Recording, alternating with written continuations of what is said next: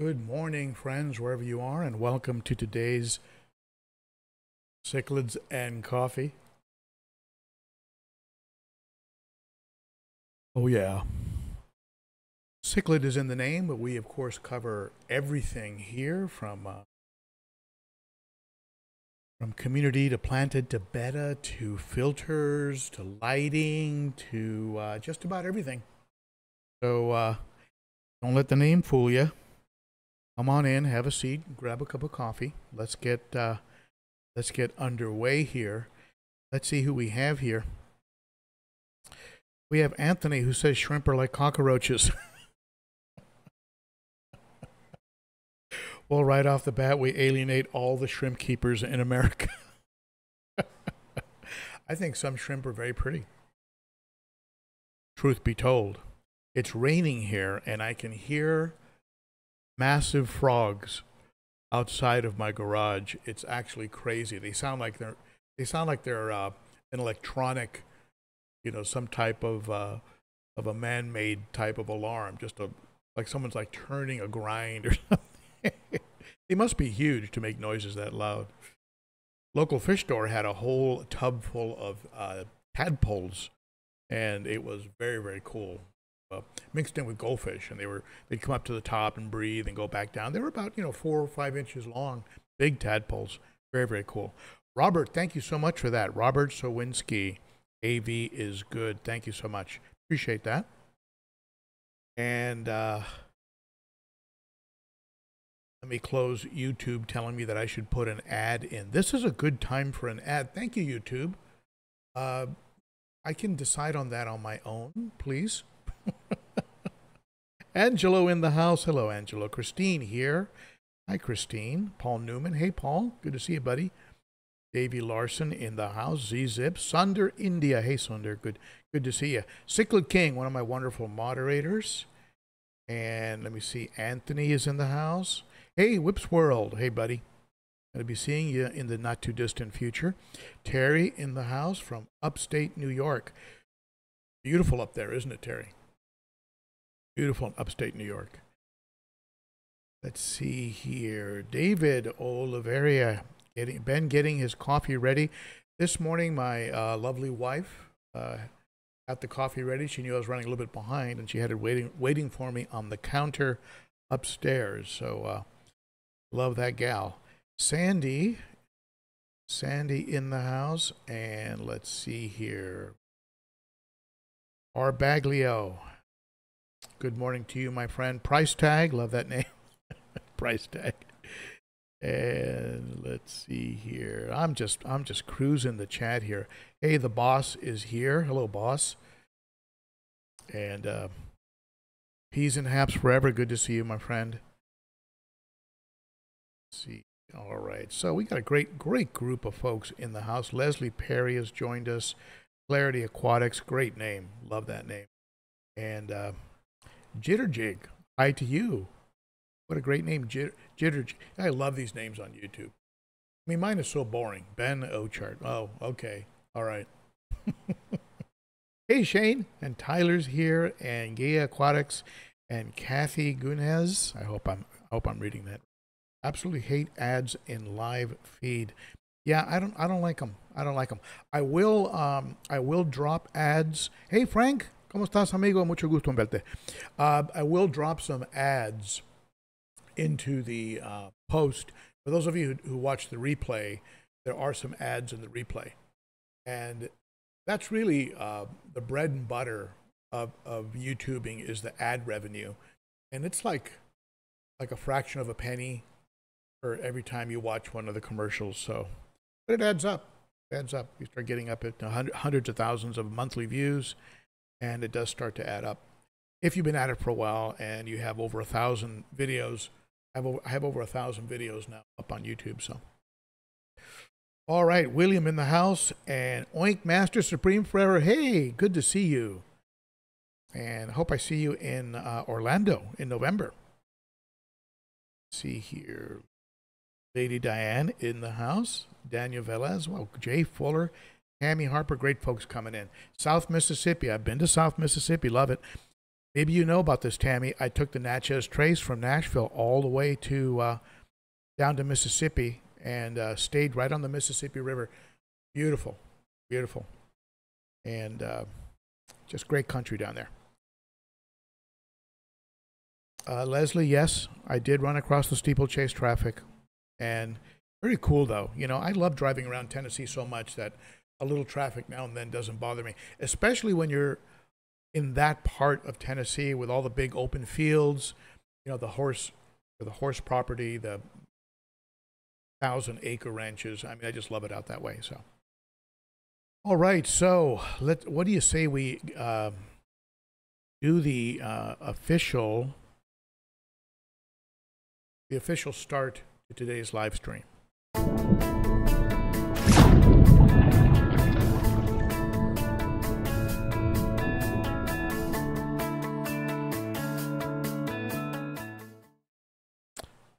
All right. Now, now, now it's official. Now that we've done that little, uh, that little melody. So, um, we got some fun stuff to talk about, and Jay Fuller says he had keyboard issues, but did something uh, type up incorrectly. Did you type something insulting by mistake? Inventory King in the house. Hey, buddy. Good to see you. You folks want to see a very nice saltwater setup and what I consider to be expert level plumbing. Check out uh, Paul's channel, Inventory King. Andrew Sparks, sí, hablo español, fue mi primer lengua. Spanish was my first language, believe it or not. So, um, quick shout out to uh, the sponsor of the channel, uh, uh, the Cichlid Shack in Tempe, Arizona. Any of my large cichlids that you see are from the Cichlid Shack, as well as many other fish in my fish room. Big shout out to James. Use the Shack Attack 15 for fish orders over $100 and 10% off Shack Attack 10 for dry goods. Not apply to shipping. And you do have several options. You can use FedEx, you can use UPS, uh, but if you use uh, Southwest Cargo, be sure that they deliver to your local airport, or you might have a long drive. Also, I I have to give a big shout out to the uh, aquarium co-op has been really helping me out recently with plants, and uh, they just sent me out this 36 inch light.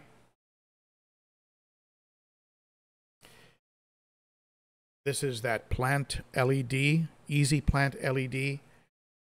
This is, um, they offered me any size I wanted. I took the 36 so I could put it on my 90 gallon and not have the light hanging over on each each end.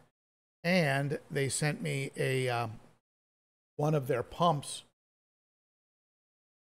except this pump has two outlets.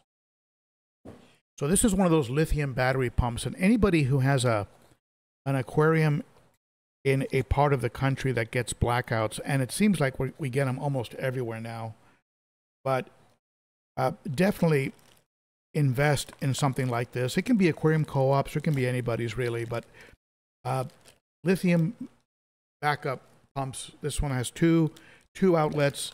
I'm going to put it between my my 20 gallon live bear tank and my hospital tank. And in the event of a power outage, I'm going to have surface tension break up so that oxygen doesn't get depleted.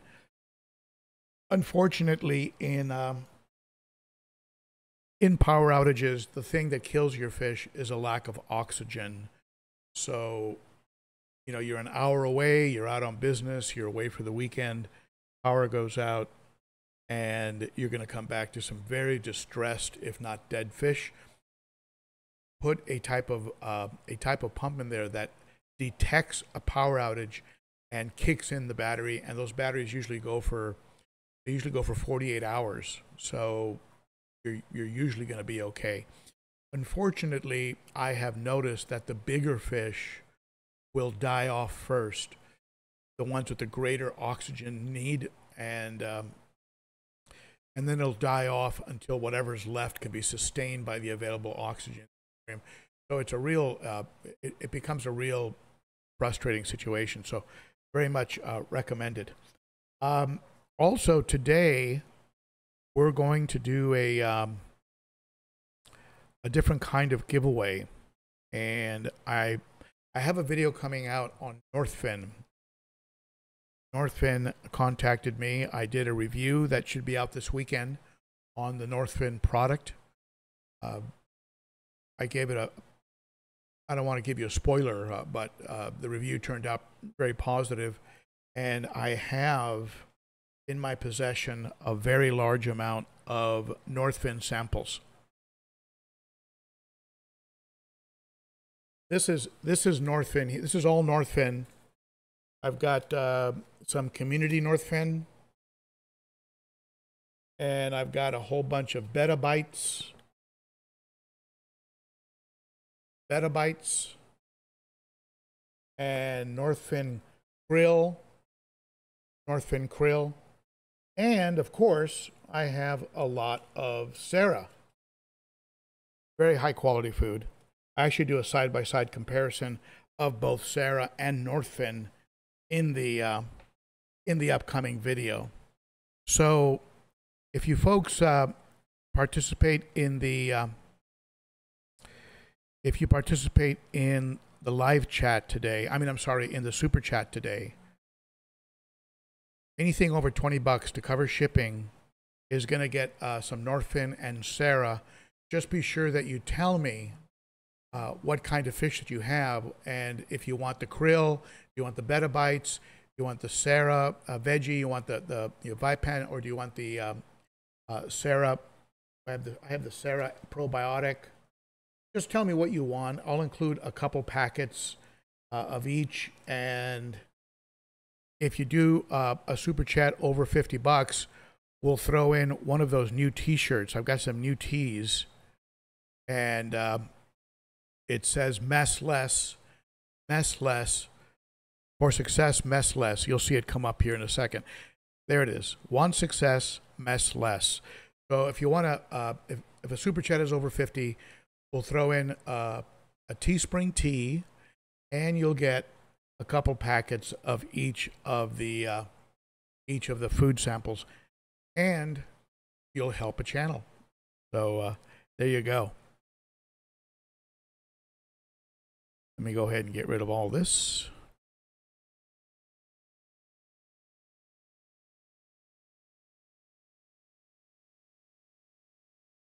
There you go.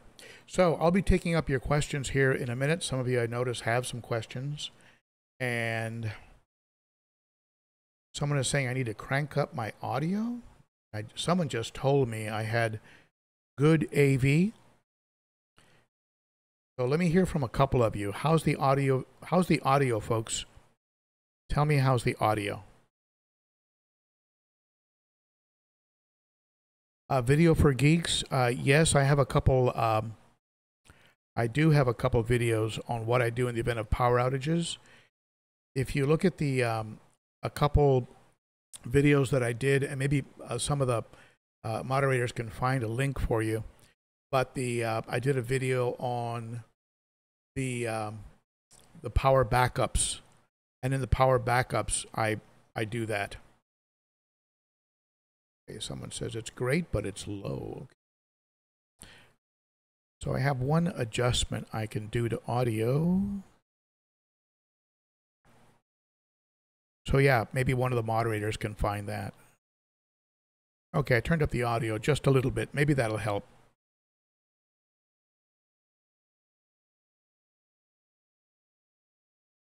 and turn their volume. well, you never want to say that, right? I had one person that told me that my uh, video quality was was was uh, and audio were very poor on a recent uh, video, and you get real tempted to go, well, it might be your equipment on your end, but usually I take the high road and go, thank you, thank you for telling me. All right. All right. So, uh, uh, GP, let me know if it's clipping now because I turned it up and I am getting a little bit of red zone activity. But uh, I don't know. Maybe this is better. And we did have a, we did have a mic fund going on super chats a while back, and I do have that money earmarked for a different microphone. Even though this Yeti, this Yeti is supposed to be very high quality, so we'll see. Maybe I, would like to get a Shure a Shure mic. That seems to be really, really a real good one. All right, so let's see here. No clipping. Thank you so much for that. So what ended up happening, getting into the uh, meat and potatoes of, oh, wait a minute, forgot one thing.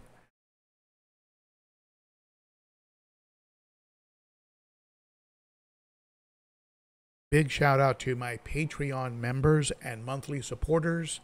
You folks are very appreciated.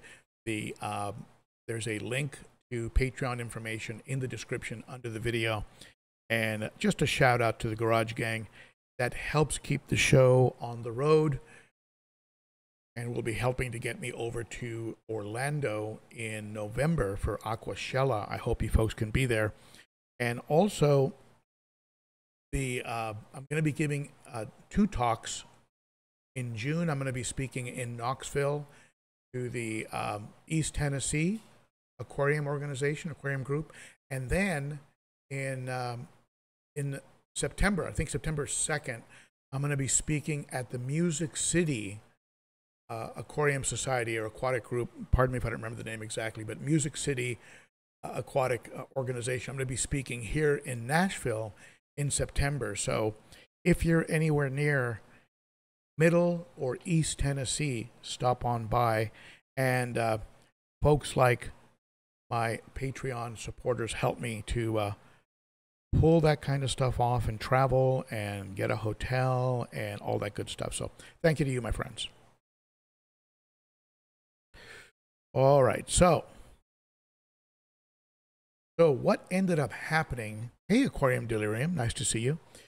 So what ended up happening was I reached a point where I I was just too frustrated with the amount of plant damage that I was getting in the tank behind me. The uh, my friends over at the aquarium co-op sent me some val, and and you know val grows like a weed, right?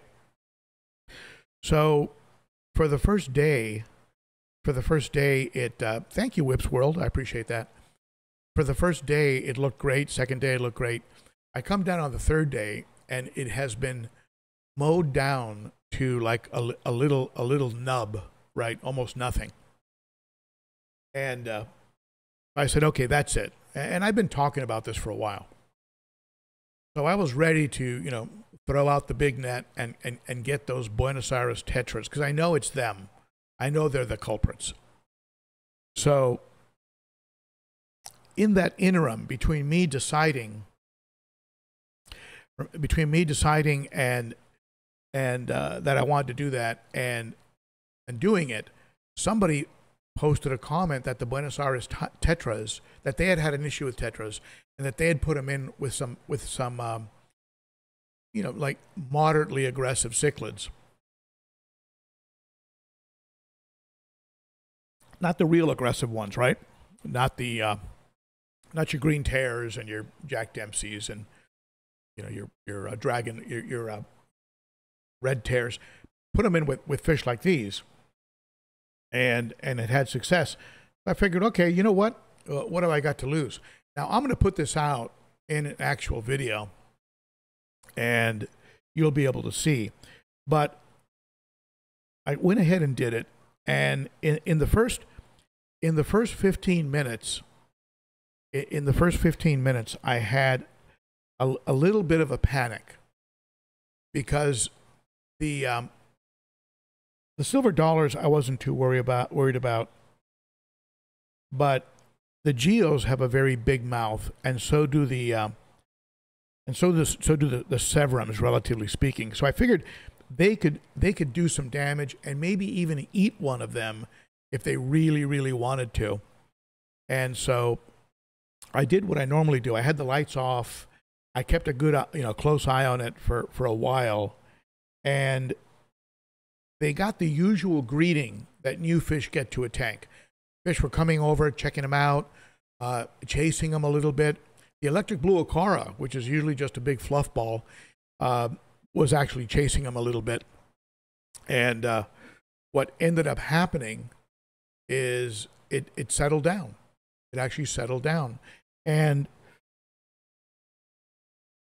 and another interesting observation was that in the in the 55 gallon, being the the apex predator, being the the you know the head the, the head fish in the tank, the bosses, if you will, they didn't school.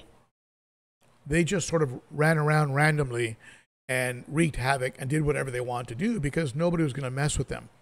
In this tank, uh, being more of a uh, subdominant fish, they're really schooling a lot.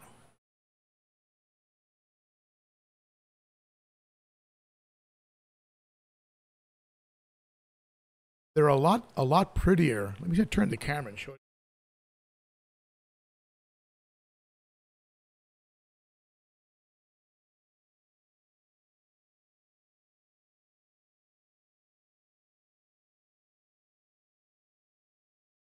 I don't know if it's the I don't know if it's the substrate or the lighting, but they look a lot prettier in this tank. The red in the tail and the anal fin. There's a shimmer in the body, that the prominence of the black and and I don't know if is that if that's a subdominant. Uh, you would think they would color down in a subdominant situation, but instead, what I'm seeing is uh, I'm seeing more color and I'm seeing a very tight, a much tighter formation in schooling, which which really really educated me on how schooling is really used as a preservation technique. So if, the fish feel extremely confident, the schooling will will will will sort of diminish a bit and they'll be more free swimmers. But what I'm seeing now is a very tight Buenos Aires Tetra Ball. Like you see those sar- sardine balls, you know, in the ocean. And uh, man, they're just staying really tight quarters. And, and I'm loving it. I, I, I love it. I love the look of it. I love the way they're they're they're staying tight together. And it might even be helping the geos in the same way that the silver dollars, uh, you know, working as a sort of dither fish, so that the geos don't don't don't harass each other.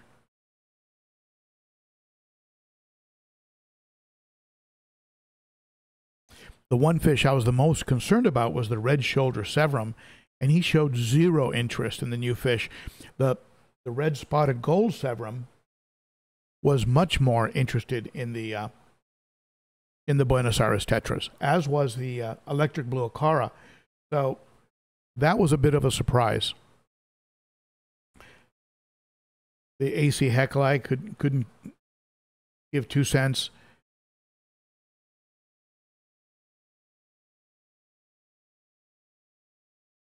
So a big shout out, and I can't remember the name at the moment, but a uh,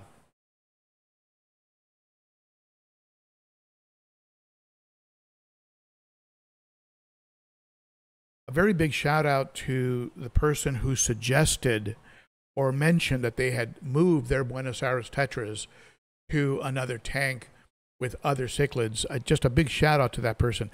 And I say this over and over again, and it is so true. This is a great example how we all learn from each other. And for me, the adventure of getting into a different kind of fish from the uh, African cichlids I was used to, which in some ways is kind of easy, right? No plants, give them some room, and uh, change the water and you you know you, you, you don't don't put fish that look too similar together because they'll kill each other. I mean, it's very there's some basic rules to African cichlids, and once you've got those down, eh, a lot of water turnover because of the waste. Uh, you know, once you've got those down, you kind of get it. There, there are some nuances and uh, you know things about these these other fish, whether we're talking about the fish themselves or or the caring of plants or things of that nature, that is uh, in some ways a little bit more challenging and a little bit more technical than than the um, than African cichlids.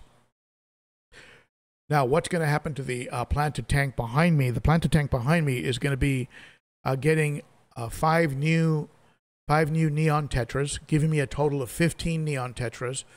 It's going to get five red tail rasboras that I picked up at the uh, local fish store, uh, the uh, the aquarium, the um, aquatic critter, and and so there's going to be an infusion of of 10 more fish to replace the activity, movement, and color of these uh, Buenos Aires tetras. They're they're halfway through their quarantine. I'll keep them in, in quarantine for a few more days. They're looking great. Their colors are great. Their activity is great. They're eating well. I'm tempted to move them over already, but whenever I break those protocols, I you know in the past that's when I paid the price. So I run the full uh, quarantine right from the word I think quad or uh, from four. It means four. It means a month. And so you want you know quarantine for a month minimum and keep a close eye on them. If they're eating well, they're they're they're active, they're colorful, pretty safe to bring over. I don't run them through any kind of a, um, a meds while in quarantine. I only medicate when I when I see something to medicate. Uh, that's just how I do it. If you like to medicate while they're in quarantine, certainly, and it works for you, why not, right? So let's uh, let's go ahead and take a look at what you are saying in the chat. And by the way, for those of you who came on late, we are we are doing uh, we don't do this every week, but this week I am doing a giveaway. Any super chat over twenty dollars gets Sera and Northfin samples of Sera and Northfin. Be sure to let me know if you if you want uh, krill community betta bites or you know what what kind what you want, and also I'll throw in some Sera packets, two of my favorite, uh, uh, two very much favorite foods, and I I did an analysis. Watch for the video. I looked at things like ash, uh, protein content, fillers, binders. Uh, that video is coming out. I do a comparison between these these foods, and I, I even looked at uh, Dainichi, and uh, one other one cichlid gold, Hikari cichlid gold. Um, so I do a comparison, the video between all of those. These two, Sera and and uh, and Northfin, tested out very very high, very uh, very very high quality.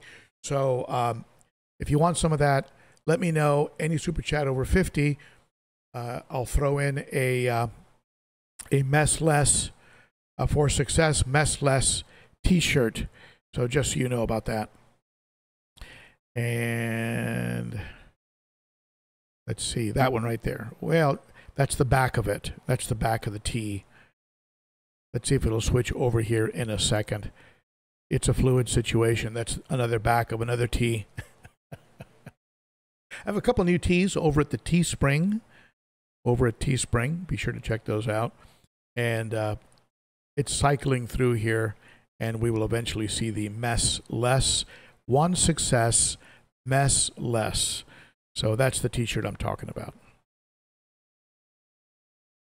All right, let's take up some of your some of your questions.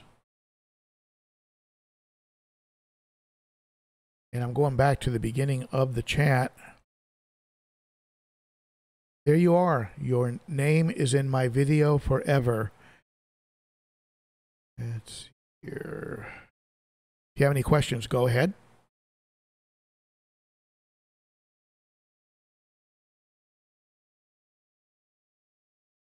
Tammy Harper, you're feeding, um, is that you're feeding Buenos Aires Tetras, the uh, unsalted green beans? Interesting. Now, do you find that after you're done, Tammy, is there a big mess in the aquarium? Do you have to do a lot of cleanup because of the uh, of the vegetables. I'd, li- I'd like to know that for sure. And let's see.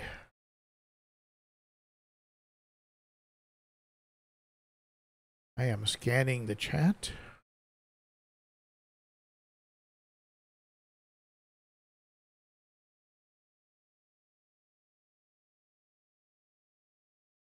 Looks like Val is delicious. Lady Dan, Val is delicious. Should I put some in my salad, you think? Would it be nutritious for humans too, you think? Silver dollars love plants. Those silver dollars are not getting anywhere near any live plants. This is a plastic plant only. They can chew on the plastic all they want. I don't care. Looks like somebody came in and hit me with a super chat. Hey, Jay. Jay Fuller. Thank you, my friend. Uh, be sure to contact me at ben.o.cichlid at gmail. Uh, remind me of your uh, full mailing address and the kind of fish that you have. And I will go ahead and send you a couple packets of Sera and a couple packets of the Northfin Northfin food. I have Betta Bites, I have krill, I have community, and I have some cichlid samples. So let me know. Let me know what you want. And with that kind of a super chat, I can. It's an. It's an. It's actually, believe it or not, it's because of where I live. It's uh, 45 minutes back and forth to the uh, post office, and usually between five and nine dollars to send out this stuff. So um, YouTube takes 30 percent. Then there's the taxes that I pay, and so I end up with about a dollar fifty on a twenty dollar super chat. and I'm grateful. I'm very grateful. Thank you, Jay. Be sure to let me know, my friend. And let's see here. Video for geeks. Never was a fan of painting ta- tank backgrounds. I use HDPE plastic sheet. And uh, video for geeks, you know what I do? I use that uh, Velamax.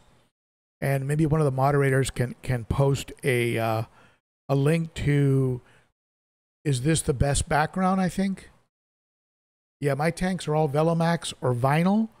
And the beauty of Velamax is you get sick of it and you just peel it off. And, or here, here's something.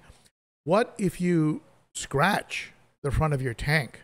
And boy, don't you hate it when you're, one day you notice there's a little bit of algae growing and it's in a scratch because when you clean the inside, you had a piece of, of sand or gravel and it scored the. So what? You, some people flip their tank around. Okay, well the other side doesn't have scratches peel off the back and put it onto the back onto the what was the front, and you have a new background. In, you know, easy, easy, easy peasy. Now, of course, that's different if you have a drilled tank that you can't turn around. So, anyway, just something to consider. No mess with the green beans. Okay, interesting. I've been using uh, zucchini and uh, zucchini and cucumber and man, oh man, do they, do they love it. I end up with, with just a little bit of skin left after a couple days. And, um, and the snails, oh my goodness, the snails, snails go nuts on it. They'll, somehow they sense that it's, it's attached to the top corner and a whole bunch of them will go up there and they'll detach it from the, from how I have it and they'll float down with it and they'll take it to the bottom and I'll have five or six, uh, you know, pagoda snails and a pleco stuck on it. It's actually uh, kind of fun to watch.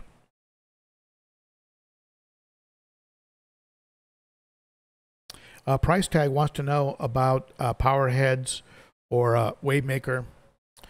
You know, there are so many good choices, and it really depends on your budget and uh, really how much gallons per hour you need you want to go um, higher end, look at something like Tunze to higher end, uh, medium to high end. Uh, you can go with a um, maybe like a Hygger or a. Uh, I mean, there's there's a third third generation. I mean, I have a, I have a couple of videos on wave makers if you want to just go low end and maybe it'll make a couple decibels more noise, maybe it's a little bit bulkier, but you can pick them up really cheap. Uh, go with the Sun Suns, the Sun Sun power heads. Now, don't forget, not power heads, but wave makers. Now, don't forget, you do need to pull out your wave makers at least three or four times a year. At I mean, on the, on the bottom end, at least twice a year, and give them a good cleanup because once they build up a lot of mulm, they lose a lot of gallons per hour. and I've seen actual uh, tests at Bulk Reef Supply. They did actual tests of uh, GPH, and they saw a, a drop off, a, a, a, you know, a pretty drastic drop off on the gallons per hour. So pull them out every now and then, unplug them, pull them out, uh, tear them apart, really clean up, uh, you know, really clean up the impeller and the magnet, the magnet housing, and then you know put them back in. You'll get uh, top performance. But yeah, there's there's a there's a lot of good good ones out there. Um, sure I got the right the name correct. Hold on one second.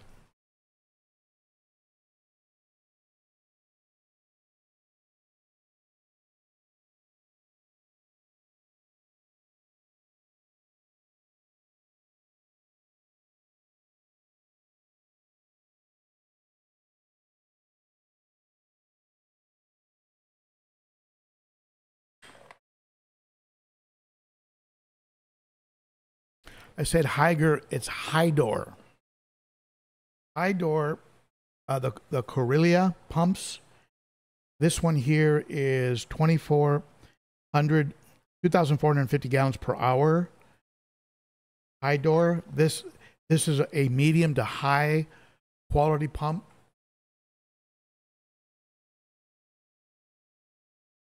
You'll, you'll not know it's on due to sound. You'll not know it's on.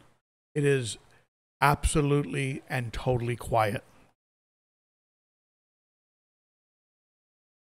Another pump that is absolutely quiet and this one is 3200 gallons per hour. This is a Sicce Voyager HP.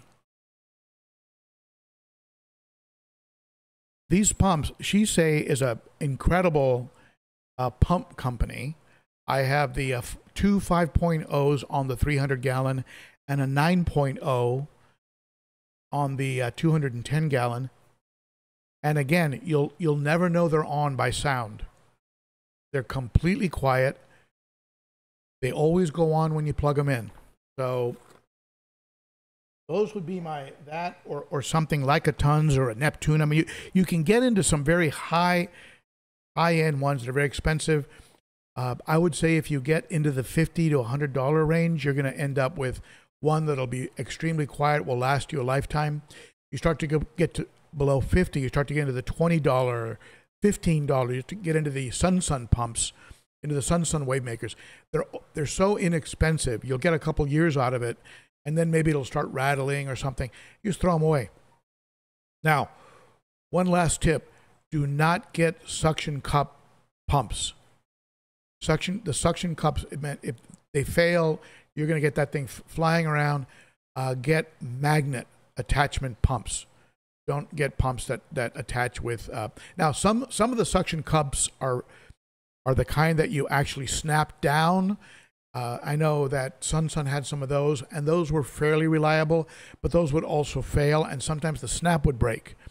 So your your your best your best bet is get one with a strong magnet and uh, use that to attach.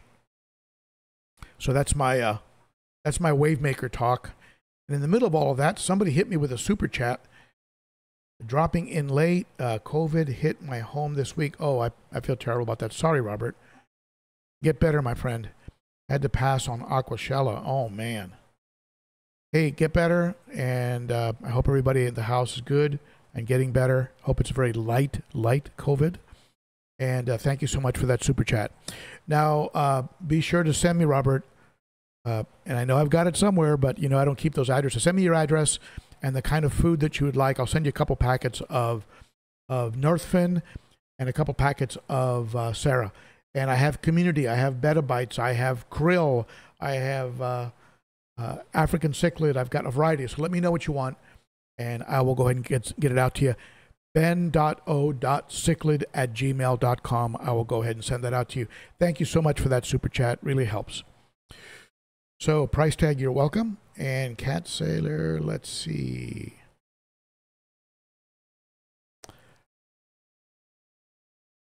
Whip Swirl bought Hydor wave makers and they were terrible. Well, there you go. Everybody has a, a different opinion.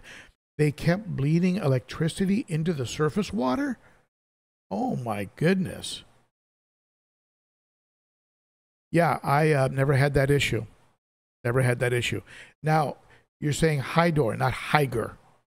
We're talking Hydor. So, under those circumstances, it would seem to me that if you contacted the company, they would immediately replace it. No questions asked. So, because that is a uh, that's a horrible, horrible outcome for J Dubs Aquatics in the house. Hello, J Dubs. Hey, Jerry. Good to see you, buddy. Cichlid Kings. I'm going through the questions now. Aqueon. Tammy Harper, Aqueon wave makers are really good. I've had no problems with those. There you go. And they probably come in, they probably come in for what, 30 bucks? I mean, they're affordable, right? You get into some of these uh, ones that are popular in the saltwater community, you'll pay 100 to $200 for a wave maker. Or some of them have fancy uh, apps. You know, you, you can control them with an app. Or uh, the one I have on the uh, 210 gallon, it has a little control box on the side so I can control the kind of wave. Do I want high and low alternating? Do I want steady? Do I want random? Um, I can uh, give give it a 10 minute break for a feeding. It has all kinds of little, you know, in a control box on the outside. And then there's other ones that you control from your phone. So, you know, you get what you pay for, I guess. April in the house, April Tolson, Jebao, Jebao Crossflow. Uh, Jebao has really come on strong. I know they make decent uh, direct uh, DC current uh, pumps for uh, sumps and people seem to like them. Uh, there, people would rag them, oh, you know, cheap Chinese junk, blah blah blah. Well, they're actually they seem to be uh, standing up to the test of time. So.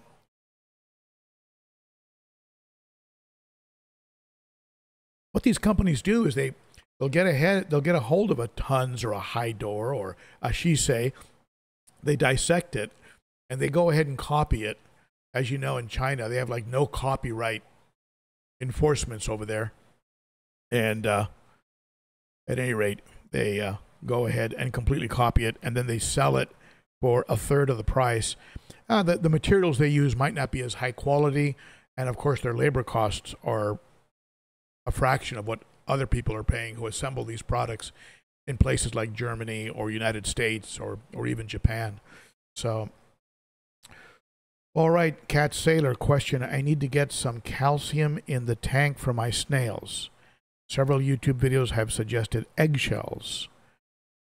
After you make breakfast, is anyone doing that? Is anyone using eggshells in their aquarium?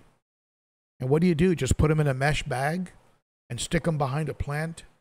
I mean, I wouldn't want to see eggshells floating around in the aquarium. Do you uh, boil them first? I mean, do you what? I mean, that that's interesting. You can buy just a little calcium shell, little calcium block, and drop it in the tank. You could probably also just buy a little bit of um, crushed coral. Maybe bag, maybe buy a bag of crushed coral that isn't uh, crushed too fine give it a rinse and drop it into a back corner of the tank, and they'll munch on that. Not a bad idea to have crushed coral in a tank anyway for pH stability, because it helps to raise the KH. So you'll have you, you you'll be less likely to have a, a pH shift or crash. So uh, I don't know if I would go with the eggs. I'd probably go get a calcium block or add a little bit of crushed coral something that they can just, as they slide over, they can go ahead and get scrambled eggs. Uh, no, not the eggs, the shells, Dave. The shells, not the eggs. Snails prefer sunny side up, I've heard. oh. Oh, so Robert sounds like he's got a serious. Uh, yes, everybody seems to get a different uh, version of it. I've had I had family members that were down and out for two weeks and then had several months of no taste or smell. And I had a couple family members that were down for 48 hours and then were back with like nothing. So it it I you know, everybody tends to react to it differently. All right, Crystal C, boil them, grind shells into powder using a mortar or processor, and then sprinkle a little in the tank. Crystal, is it going to make your tank foggy? Is it going to cause fog or dust? And is it going to get scooped up by your filters and uh, end up in the sponge filter? I, interesting. I mean, I just never heard of this before. Waynard Woolmerans, hello to you, my friend. I'm glad you're here.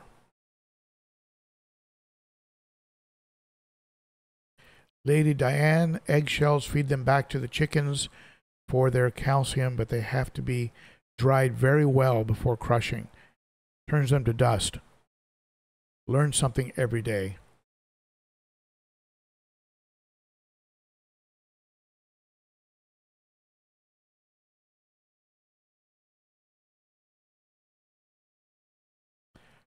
Waynard has got his. It looks like he's got some some Shelleys going. Very very cool.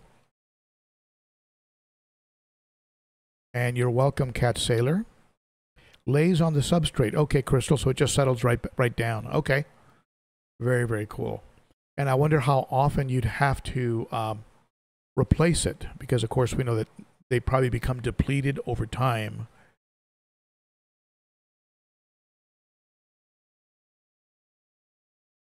Salient Aquatics, I recently unplugged. How you doing, Salient? Good to see you, my friend. I recently unplugged my heaters after talking? What with cold water aquatics and my ambient temp keeps the tanks perfect with no heaters needed. Winning. You know, I, I, I could do that in the summer, but it, it, we do get some fr- freezing conditions here, and this is a garage, and it is insulated a little bit and I do have keep the door open to the house so there's some heat that comes in, but it would get pretty cold in here, even with the space heater that I use in the winter. But yeah, that that's if you can make that work, that's more ideal.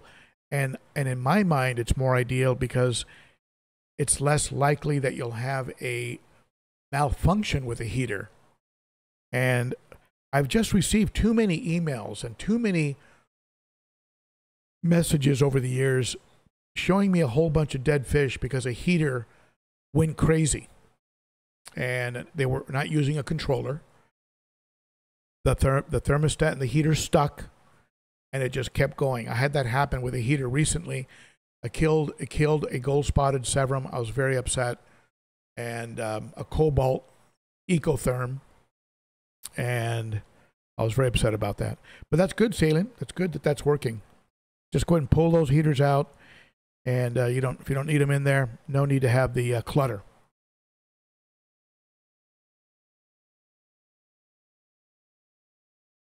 All right, any questions? Hit me. And did I miss any super chats? Thank you for your super chats. And for those of you who were late, we are doing a nice giveaway today on the super chats. And here we go. Super chats over $20 get Sera and Northfin food samples. Be sure to let me know what kind of fish you have. I, have got krill, I've got betta bites, I've got community, I've got cichlid, and any if you super chat over 50 will include a mess less t-shirt or a mug of your choice. Just visit the uh, the Teespring store and you can pick pick what you want from the Teespring store. Let's see here.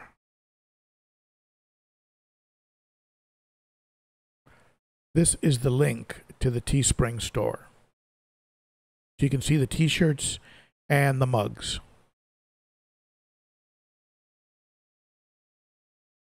All right.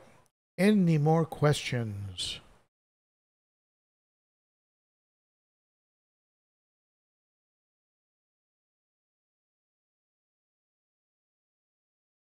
Salient aquatics, uh, there is uh, that is actually a good habit to get into.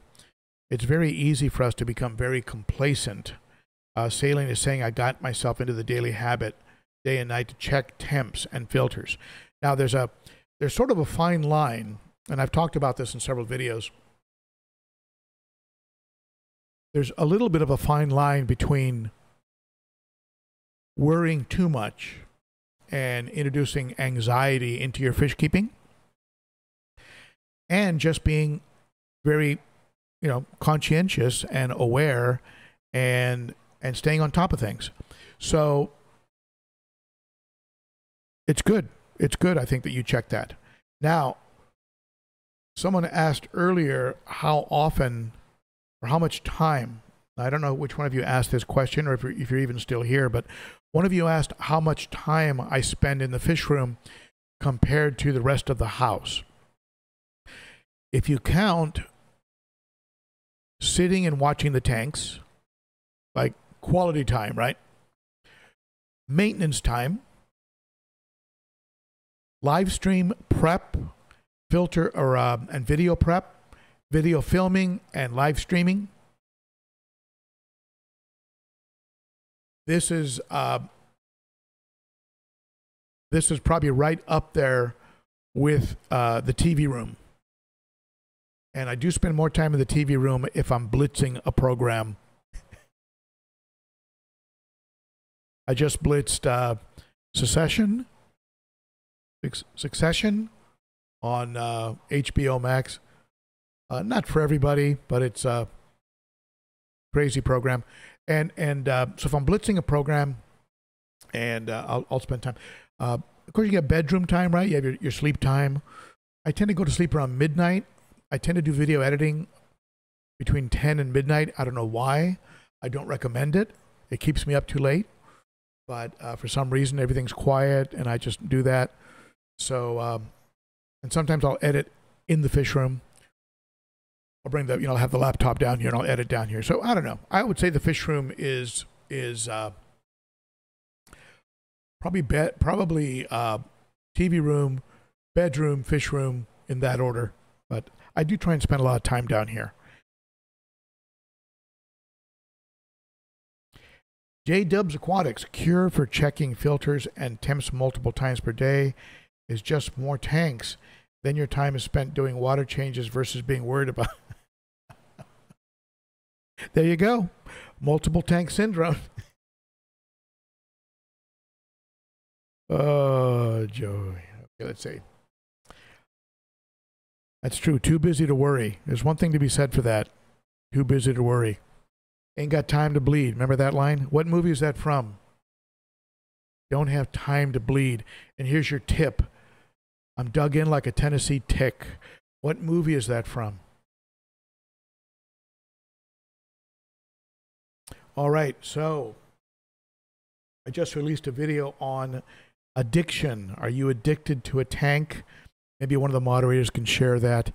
Uh, we I, I, I forgot the one point that I forgot to include in that video was you open your phone and you go to your photos and the ratio of fish pictures and maybe this is more for YouTube content creators than anybody than than regular folks, right?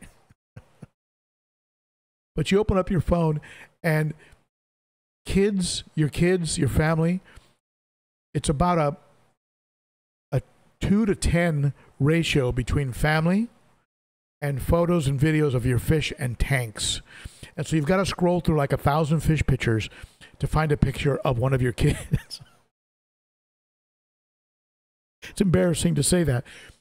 I will say, now that I'm a grandfather, I have a large number of River. Her name is River. River videos and photos. So uh, it is uh, it is actually catching up a little bit. So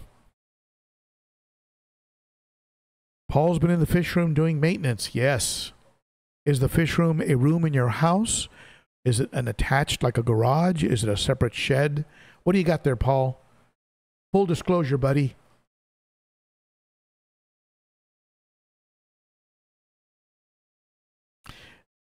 Now I know that Corey over at the Aquarium Co-ops, he said that go experience nature. David Glass, no Henry. Henry got in. Uh, no, wait, Whips World. Who got it first there? Let me see. Predator. It is Predator, and probably that second tip gave it away. Yeah. Now, for a bonus. And a bonus will be two packets of Sera and two packets of uh, and two packets of Northfin. Who said it? What actor said it? I'm waiting. I'm waiting. All right. Let's see who gets it. And, and no cheating. Don't don't don't go into, you know, YouTube TV and very easy to remember. I'm not going to give you a hint. It's a very very obvious answer.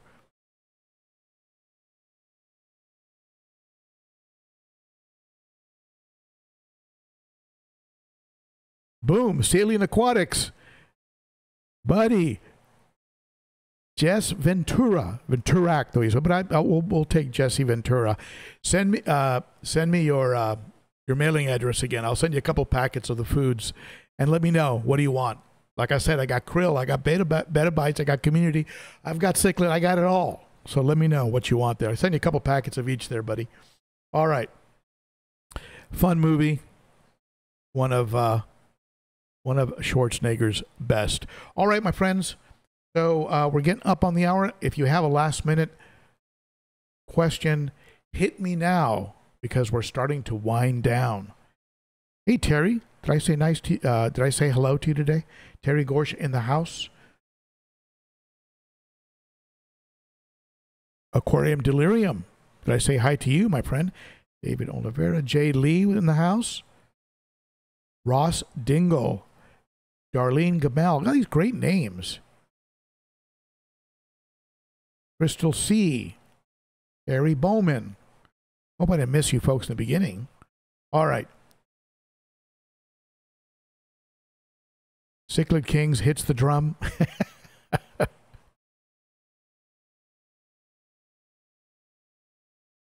well, uh, Crystal C. How can I tell if my black skirt tetra is fat or has eggs versus has parasites? Well, it would seem to me, Crystal, first of all, black skirt tetras are extremely hardy. And back of the, in the day when people would throw fish in and in some ways sacrifice them in cycling a tank, the black skirt the black skirt tetras were sort of the fish of choice. They were because they're very, very hardy. They're somewhat indestructible. Parasites is the fish not eating? Does the fish have a sunken belly? You're saying that the fish is fat, so there could be some blockage there. I would uh, I would bet if you have several of them in there, I would bet it's eggs. If the fish starts to act unusual, avoids food, stays in the corner, clamps fins, I'd pull them out, add a little Epsom salt, and see if that handles any constipation that might be going on, and in the process, maybe get some of the parasites out. You can always go with something like uh, the Prazi, Prazi Pro, Prazi, Prazi. You can also get uh, Paracleanse. There's some meds you can use. I would go with a little light salt, maybe a tablespoon for uh, five gallons. Really dissolve it first, and then add it to the hospital tank and uh, see if that helps. But I'd wait, wait a little bit. I, it, you know, if they're moving around fine, if they're eating, more than likely could be eggs. Could be eggs. Now with African cichlids, if a female is holding, right, mouth brooding, they go what 24 days without eating. They can have a little bit of a sunken belly, and they avoid food. So you know, you start treating the tank, and all of a sudden you you notice that their mouth is all full of little teeny eyes looking at you. So, uh, yeah, you just got to be uh, on top of it. And let's see here. Robert, my family room is my fish room. I'd love to have a couple tanks in the house, but I'm not going to lie. I'm not going to lie. The um, I like I like not worrying about getting water on the floor. I have a concrete slab that I'm that my tanks are on, And there have been times where, where I've spilled and I've thought to myself, man, if I was on hardwood, I'd be sweating bullets right now because I really damaged the, the floor back in California. And so um, it's almost no, no way around it. Video for geeks. Try the mic without the foamy. Here we go. Ready? One, two. All right. How's that? Does that sound better? Maybe I have a blocked foamy. My problem without the foamy is I tend to pop. I tend to have a little bit of a pop. So tell me, is that better? Is it better without the foamy? Probably looks better looks a little more high tech, a little more pro. But tell me, does that sound better?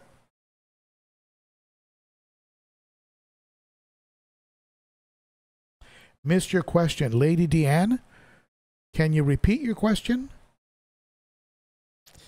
Go ahead, type in your question, and I will go ahead and answer your question, Lady Deanne.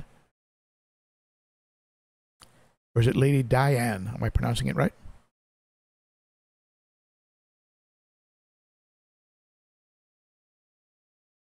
Okay. So I'm going to go into mic settings after we get off the. Uh, but everyone else seems to think. I mean, the reports from everyone else seems to be that it's sounding okay. So I'll go into settings and uh, video for geeks. If you can um, send me an email and let's talk a little bit about uh, about mics, if you'd be kind enough, send me an email at ben.o.cichlid and I'll I'll send you what my settings are, and maybe you can help me because there are some um, there are some filters that are being used, and maybe like the sound gate, and maybe that might be a little bit too tight. There might might be a few things going on, and and maybe you can, or maybe if you can send me an email of if you're familiar with uh, OBS if you're familiar with OBS, let me know what you think are the best settings, the best OBS audio settings. All right? But then again, here I go. I got other people telling me it sounds great. So, all right.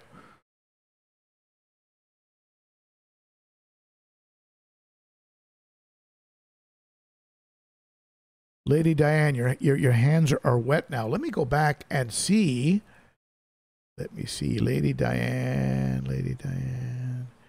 Let me see if my old eyes can see your. Uh, as I scroll through. I wasn't ignoring you.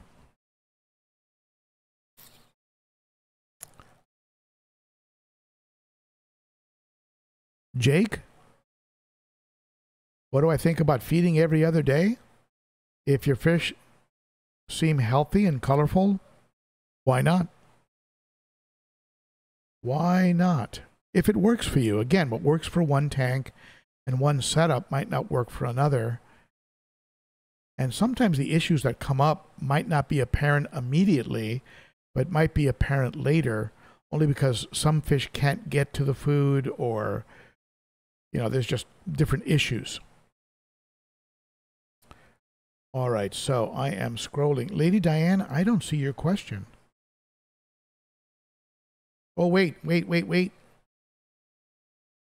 Is there any detriment to adding water conditioner to the tank instead of my sump in a 40 gallon trash can? I'm getting so much detritus of mineral in my sump. I have to clean it often. Uh, I add directly to the tank but you will get the same results if you add to the sump. You can also add, um, you know, conditioners as well as as well as uh, meds can be added directly to a sump if you want to mess with the tank less. But uh, that's your call. You're going to get the same result either way because the sump, assuming your sump is getting good circulation, uh, you're going to get the same result. And so when I do a sump top off, which I do once a week. On the big tanks, I'll do a top off once a week and and then do a water change every other week. And I'll go ahead and when I do the top offs, I'll I'll add conditioner to the sump. When I do the water changes, I'll add it to the aquarium. and I just add it for the full volume of the aquarium as recommended by the conditioner manufacturer who is trying to sell as much conditioner as possible.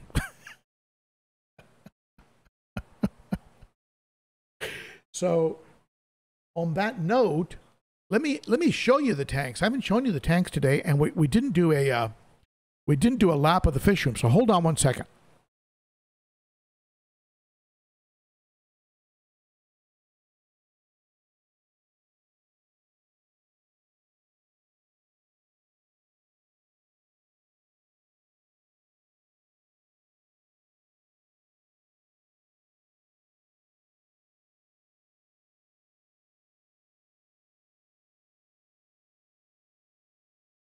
I thought we were going to end off. Here's the 90 gallon from this unusual angle.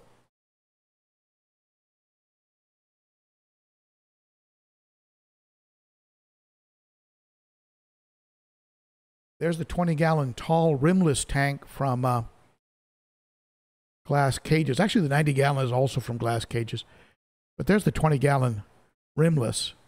And those live bearers are just nuts they keep making fry and they're just having a good old time in there. You can catch a sliver of my hospital tank back there. That has the red tail rasboras and the neons. They're all doing great.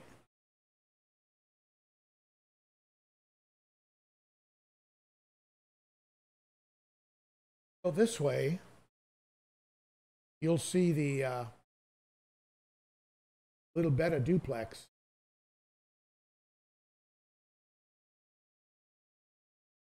And I'm I'm lo- I'm loving that uh, little Dumbo, and of course the the red, the red and blue one up there is also very pretty. The Sprite, for some reason, the Sprite is really thriving in that tank. Maybe the proximity of the light. It, I mean, the light is practically right on top of the Sprite, and I've got Sprite coming out of the water in that tank. It's growing out of the water, like breaking the water surface and looking really pretty. But that's the betta tank. And let me swing the camera over.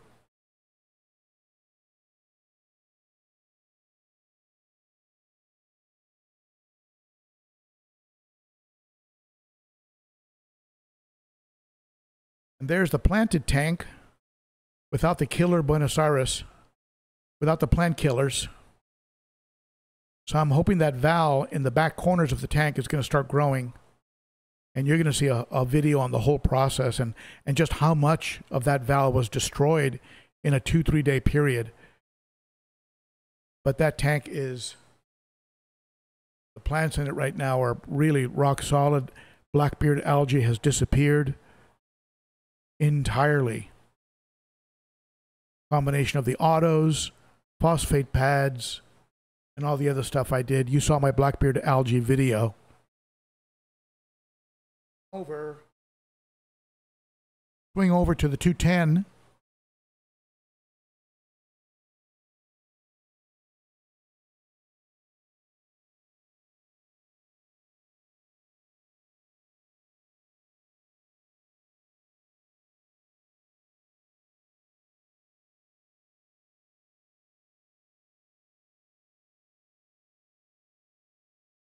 Two ten is rocking and rolling.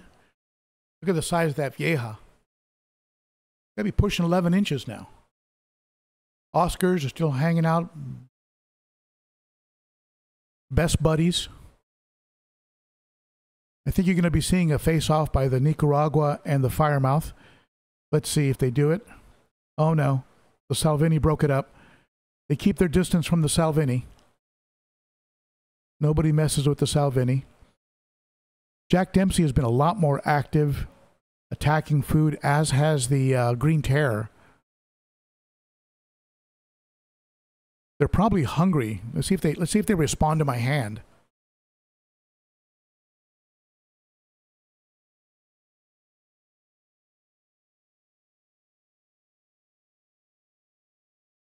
There you go. Let's take a look at the big tank, the 300.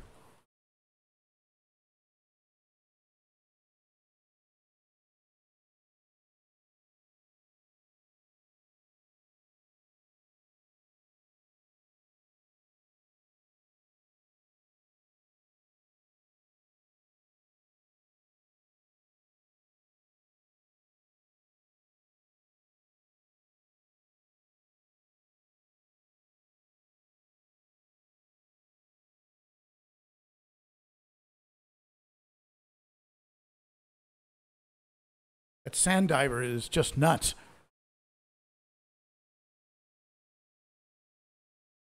He's got to be around nine inches, 10 inches.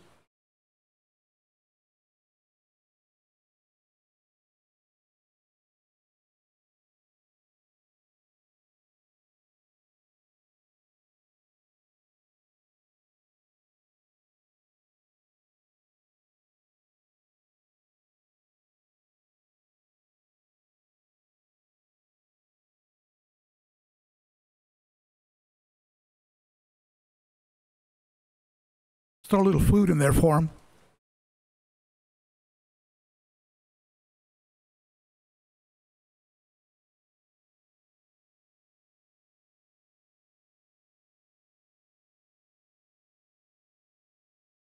This is a mix, a mix of food.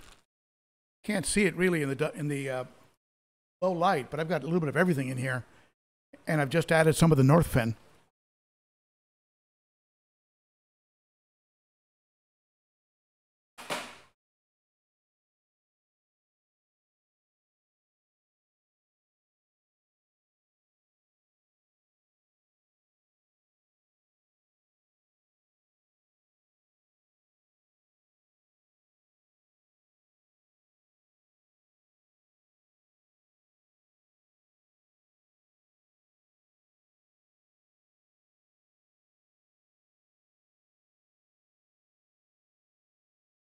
Nachi, Northfin, Kari, Sera, a whole bunch of different kinds of food in there.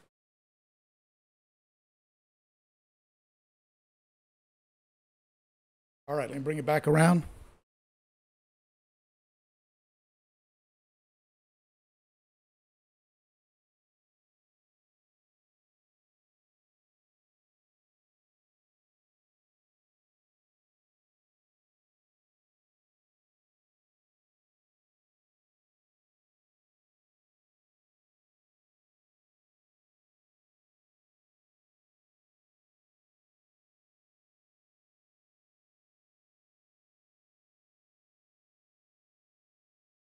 Well, we thought we were done, and some of you left, and we ended up with a we ended up with a lap of the fish room. Go figure.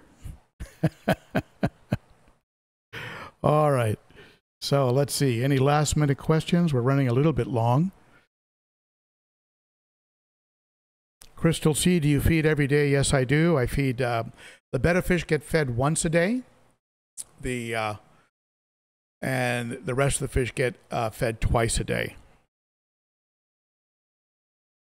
Sometimes I do. Um, sometimes I I, I, will uh, withhold food from the bigger fish for a one feeding or maybe for a day, just to kind of clean them out a little bit, especially the African cichlids because they, they do get bloat. However, I uh, I do notice that they are way more aggressive when they're hungry. So I don't uh, I don't do it too often. Davy Larson comes in with a super chat. Thank you, my friend, for the microphone fund. Thank you. Thank you, Davy. Appreciate that. Did I miss any other super chats? Whip's World, more contributions to the mic fund. Whip, that puts you over that $20 limit, my friend. Send me an email. Let me know what kind of food you want. I'll send you some food. I've got a lot of it. Got a lot of these samples. Northfin and Sera. Big shout out to both Northfin and Sera for providing those samples. All right. So you, I'm glad you liked it, Cat Sailor. And thank you, everybody, for sitting in with me today. I hope you had a good time. I will see you this coming Saturday at the same time. And watch for some upcoming videos on uh, the transferring of the, Buenos Aires Tetras to the 90 and uh, also the North Fin, Dainichi, Sera battle. And what else was? Oh, and Hikari. I mean, it's a food battle. Watch for that video. I think it just says Northfin on the on the on the uh, actual thumbnail, but watch for that video as well. So I got two videos pretty much ready to post. Watch for those, and uh, that's it. Thank you, my friends. You are the best. You rock, and I will see you again soon. Now, what button do I hit to end the live stream? My goodness. Okay, here we go. Let's go with this one first here. We'll do the we'll do the dropping logo and then we'll segue into the final screen.